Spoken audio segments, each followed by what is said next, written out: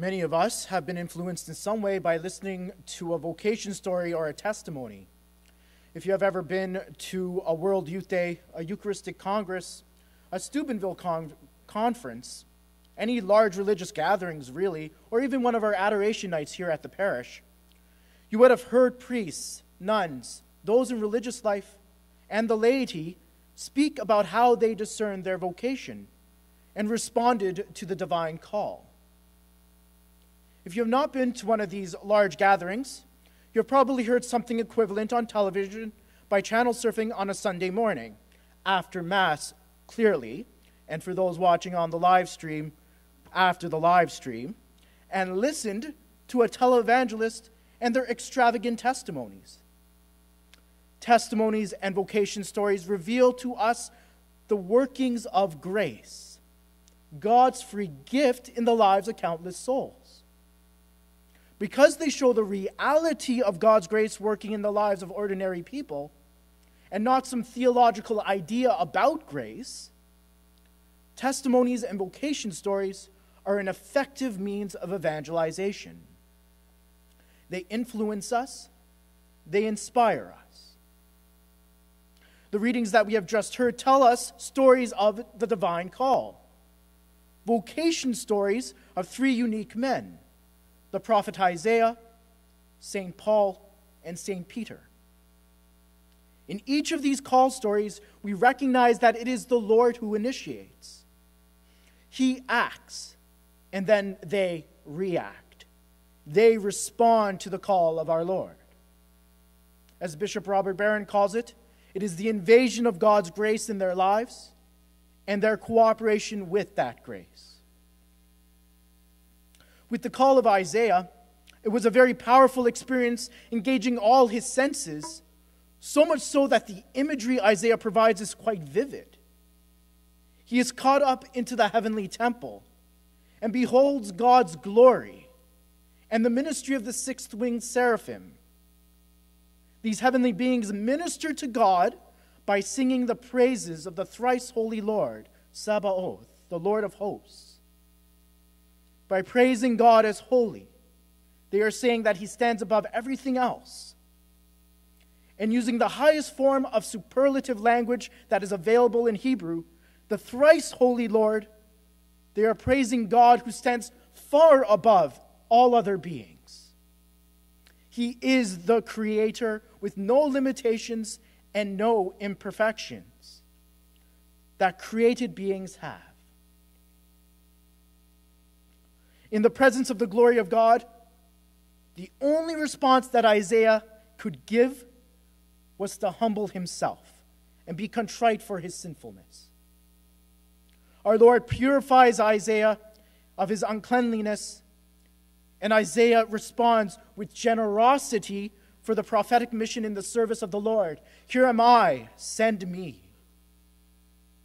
God's grace invaded his life, and he cooperated with that grace by accepting the divine call and trusting in God's will.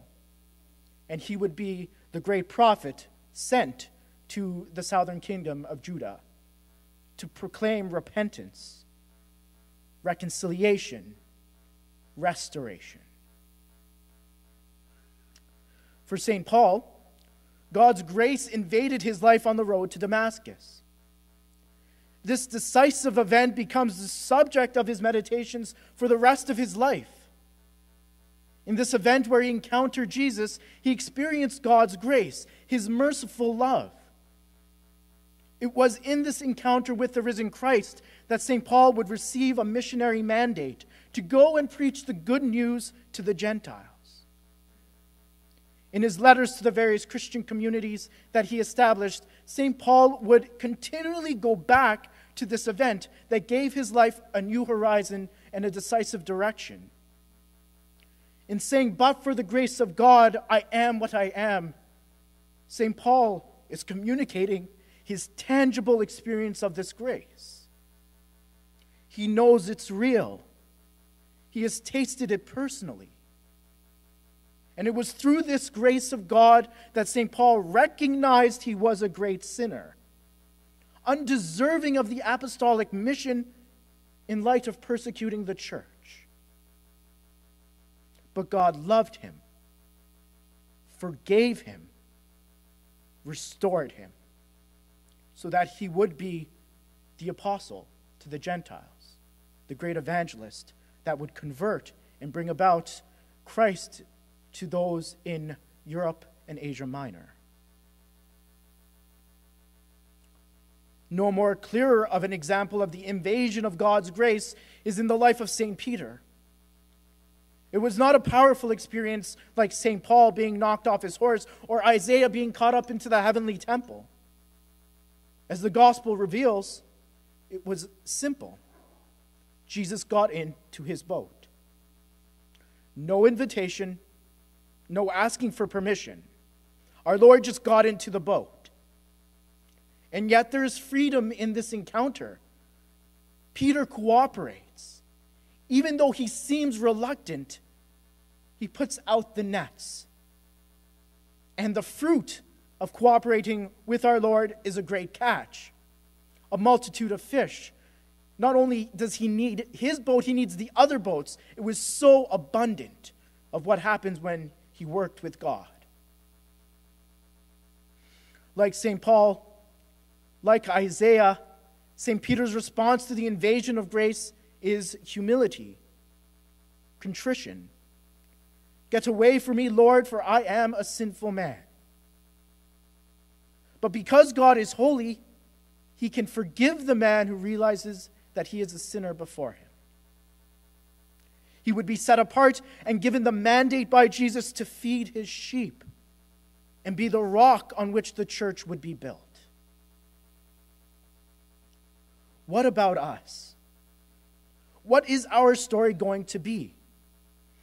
For many of us, we can easily be caught up in ourselves, in our own little world, pervaded by uh, consumerism, frivolous pleasures, and a blunted conscience.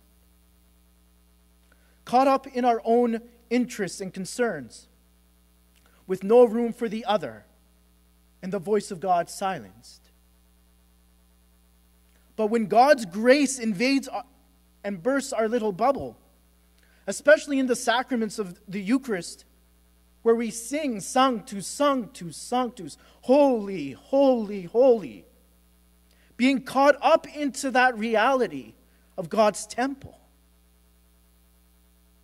And in confession, where we say, I am a sinful man, will we cooperate with God? And actually sing and mean, Here I am, Lord. It brings us to contrition, it brings us to conversion. The other option is to ignore it and continue on, on in our lives. Another way to look at this will we stay on the shore and catch nothing? Or follow the promptings of our Lord and put out into the deep waters and go for the big catch. Pope St. John Paul II, in his encyclical, as we enter the new millennium, writes Duc in altum, put out into the deep. These words ring out for us today, and they invite us to remember the past with gratitude, to live the present with enthusiasm and to look forward to the future with confidence. Jesus Christ is the same yesterday and today and forever. Only in the depths of God's love and mercy will we see the fruit of God's grace, not only in our lives, but in the lives of the other, in those that we encounter every day. In this way, we will become fishers of men effective, and inspiring evangelists able to share our story in word and in deed at the pulpit of life.